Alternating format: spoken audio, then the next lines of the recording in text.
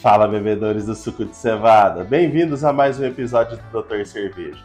Hoje a gente vai falar dos quatro sistemas de medição de pH que nós temos aqui na frente, então, o Axo 90, o chinesinho que é tão famoso por vocês aí, um medidor de pH de fitinha e aquele da, da gotinha, que é esse cara aqui.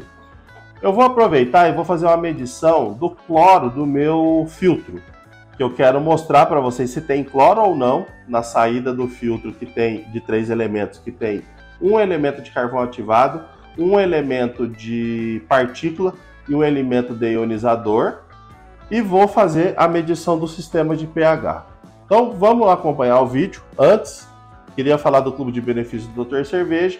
Acessem a Cresce Cervejeira ou meu Instagram para saber mais, conheça os benefícios. O valor de assinatura é baixinho, 15 reais por mês ou 105, 160 por ano, e vale muito a pena por conta dos benefícios que nós temos trazido. Então acompanhe lá e vamos fazer o vídeo aqui agora. Vamos lá, galera. Então a gente vai começar a fazer os testes aqui de pH. Então quem que eu vou testar hoje? Vou testar esse pHmetro chinês, que custou 30 reais no Mercado Livre.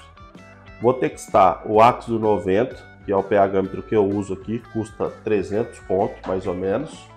Vou testar esse esse sisteminha aqui, que é de uma empresa de produto de piscina aqui da minha cidade. Ele tem três é, medidores, então aqui ó, cloro, pH e alcalinidade total. Vou fazer só cloro e pH. E vou testar esse cara aqui também, que é uma marca que vende produto para piscina.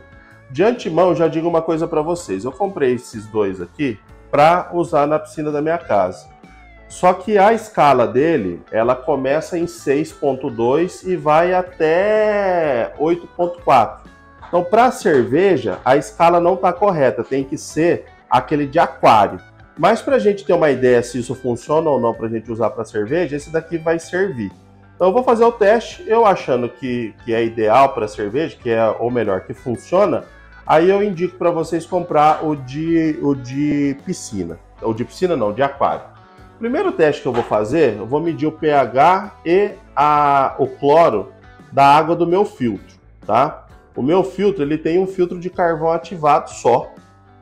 Então o que, que eu fiz? Para fazer o teste mais honesto possível, eu deixei escorrer 10 litros d'água do meu filtro e peguei 200 ml depois desses 10 litros d'água. Então, se tiver alguma coisa de cloro, vai aparecer aqui agora é, o carvão ativado ele tira 80 a 90% do cloro é, que passa por ele. Então pode ser que a gente tenha um resquício de cloro aqui ainda e eu vou indicar para vocês como é que eu tiro, tá? Então vamos lá, quatro gotinhas. E vou fazer quatro gotinhas também para a gente medir o pH. Então vamos lá. Um, dois, três, quatro. Agora eu vou deixar ele reagir. Vou tampar aqui. Vou dar aquela misturadinha de leve.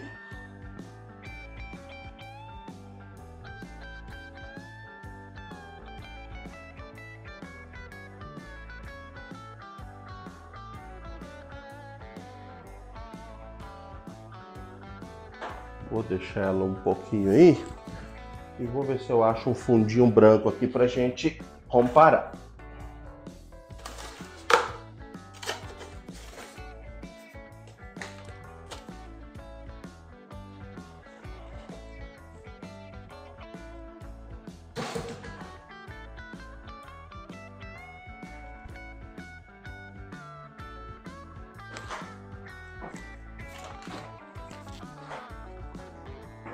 Pegar uma folha de papel aqui, ó, que eu tenho aqui na cozinha, pra gente fazer um fundinho branco para ver se a gente consegue ver uma medição ou não.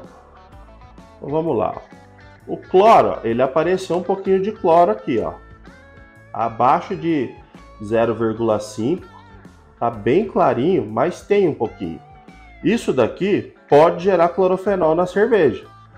Como que eu faço para resolver isso daqui? Eu aqueço minha água antes de começar a abraçagem.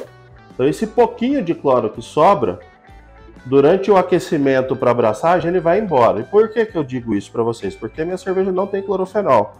A gente ganhou medalha esse ano com, com cerveja Lager, que é extremamente neutra, zero clorofenol. Então, o filtro ele tá funcional. A única questão é que eu preciso aquecer antes de começar a abraçagem, porque senão esse cloro aqui pode dar clorofenol. Uma outra situação seria colocar mais dois elementos de carvão ativado, também resolveria. E uma terceira possibilidade é o uso do ácido ascórbico, que é o, o, a vitamina C, que ele também vai eliminar esse cloro aqui. Então a gente tem essas possibilidades. O pH a gente mediu 7.2, ó, tá com 7.2, que é a água da rua. É mais ou menos isso mesmo o nosso pH aqui, por volta de 6,5 até 8, depende da época do ano.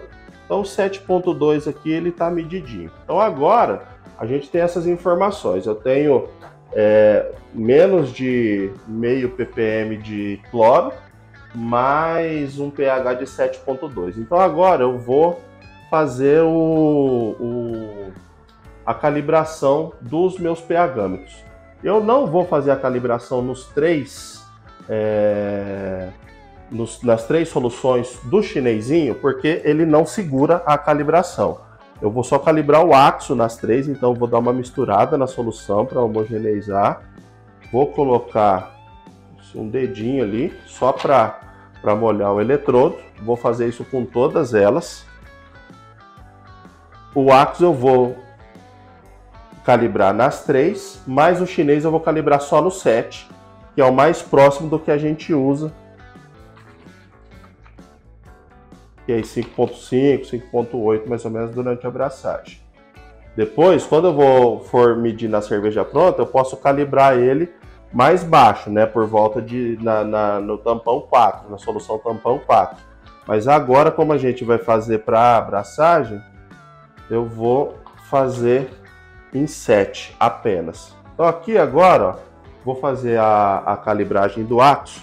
O meu Axo ele estava com a bateria ruim. Eu acabei de trocar a bateria dele e tá com a bateria novinha. Vamos calibrar ele rapidinho aqui. Então vamos lá. Trouxe um rolo de papel aqui para que a gente consiga secar a pontinha de prova. Eu vou dar uma lavadinha na solução de cloreto de potássio, vou secar. Daí eu vou calibrar ele em 7. A solução tampão ela está um pouquinho mais fria do que deveria, deveria estar tá em 20 graus mais ou menos. Só que como esses pHmetros eles têm a função ATC, então ele corrige. Então, embora eu não seja muito fã mas hoje está muito frio aqui em Campinas, não tem o que fazer. Então a gente vai ter que utilizar ele na função ATC mesmo. Vou calibrar ele. Como esse processo de calibragem é um pouquinho demorado e a gente tem um vídeo já no, no canal falando sobre isso, estou deixando o link aí em cima. Assim que tiver calibrado eu volto para mostrar para vocês as medições. Então vou deixar só ele calibrar no set aqui e vou cortar o vídeo. Olha lá, calibrou, beleza. Já está calibrado em 7. A gente já volta para fazer as medições de, de teste. Vamos lá, eu vou calibrar agora. O Axo 90 já está calibrado, eu vou calibrar o chinês. Uma coisa interessante, o chinês, eu preciso colocar ele na, na solução, tampão, e esperar mais ou menos um minuto para ele estabilizar. Eu já coloquei aqui faz uns 45 segundos, mais ou menos ele parou em 6.7. Vou trazer mais pertinho aqui, ó, para vocês enxergarem. 6.7, 6.8. Tá, lá, tá variando um pouquinho. Então agora ele tem uma uma chavetinha aqui atrás. Vou encaixar a chavinha de fenda ali, ó.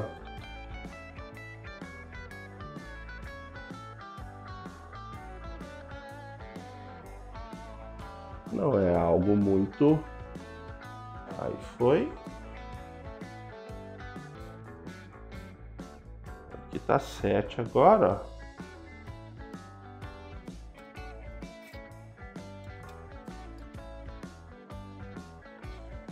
Agora 7. Perfeito. Tá variando ali 7, 7.1. Estabilizou em 7 Beleza, então agora a gente vai começar as medições. Vamos lá. Vou pegar a mesma água lá do, do meu do meu filtro.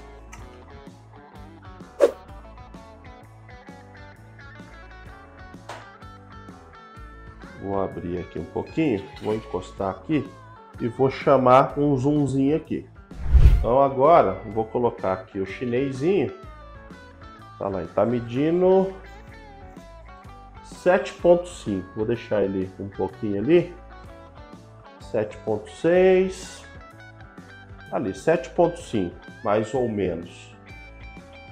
Aqui, nessa medição, deu por volta de 6.8. Pegar um papelzinho aqui, ó. É, tá dando na, não, por volta de 7.2, ó, tá essa cor aqui, ó, 7.2. Então, ali 7.4 agora, tá assim, tá uma diferença de de ponto 2 é bastante, mas tá medindo. Aí não tem cão, caça como gato. Vamos ver o que, que o Axo vai mostrar. O Axo tá calibradinho, bonitinho. Deu uma homogeneizada na solução. 7.1. Tá variando entre 7 e 7.1. A leitura aqui é 7.1. Se você ler o manual do Axo, ele fala que você tem que homogeneizar a, a solução e medir. Parou em 7. Agora vamos ver. Aqui eu, eu vou considerar a leitura do Axo como 7, porque foi onde ele parou. Vou pegar a fitinha da HTH.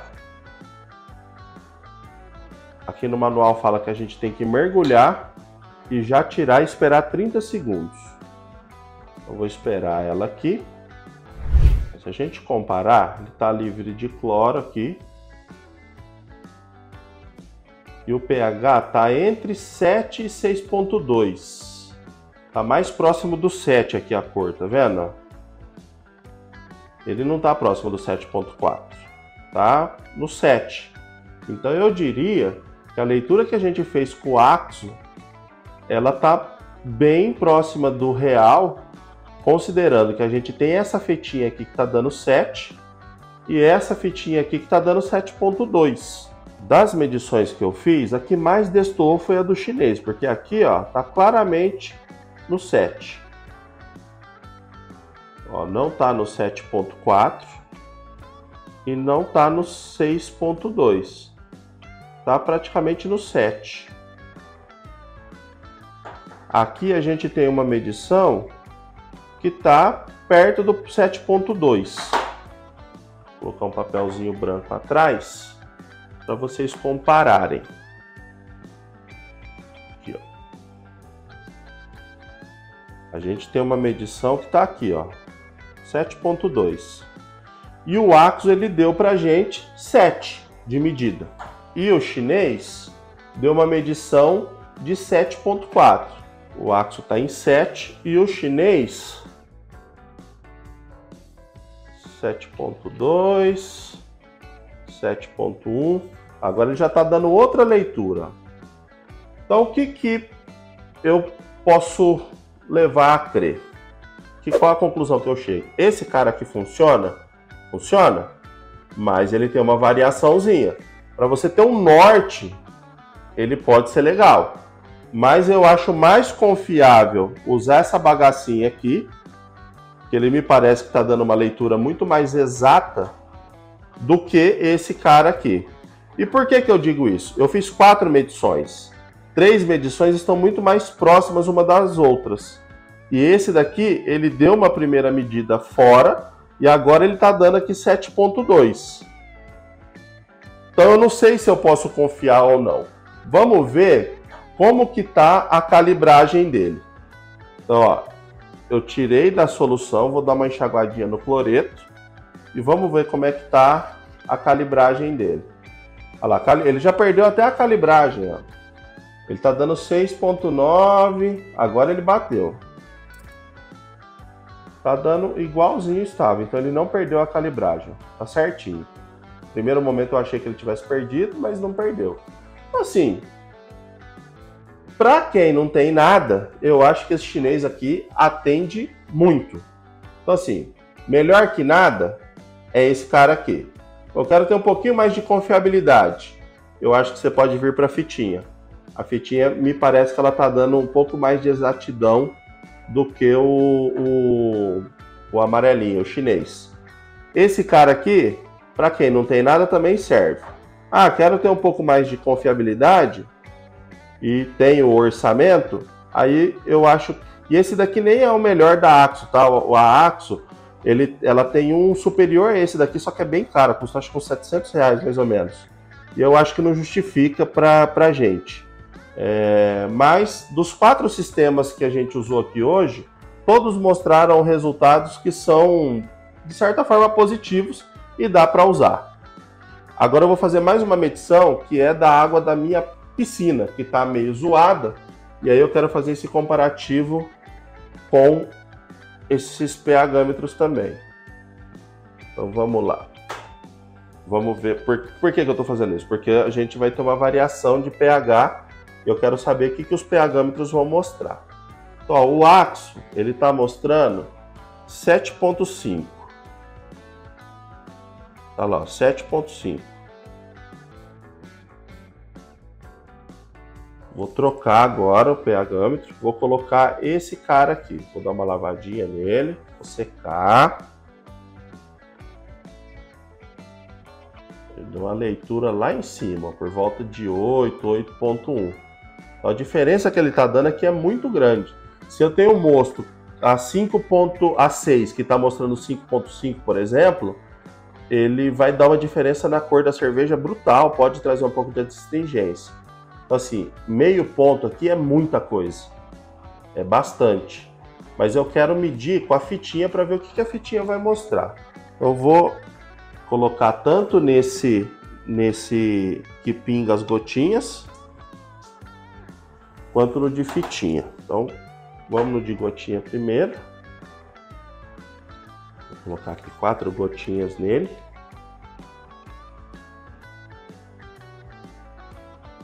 Beleza. Vou dar aquela misturadinha para dar uma homogeneizada. E vou medir na fitinha também. Do HTH. Esperar 30 segundinhos aqui. Aqui a gente já teve uma variação que foi nítida. A gente tem um pH agora aqui, ó, claramente aí por volta de 7.5. Ele está entre o 7.4 e o 7.5.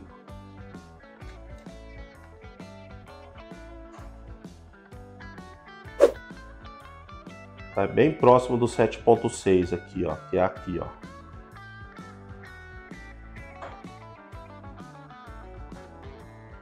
Ele não tá lá para cima por volta de 7.8 ou 8.2, que é o que mostrou o chinesinho pra gente.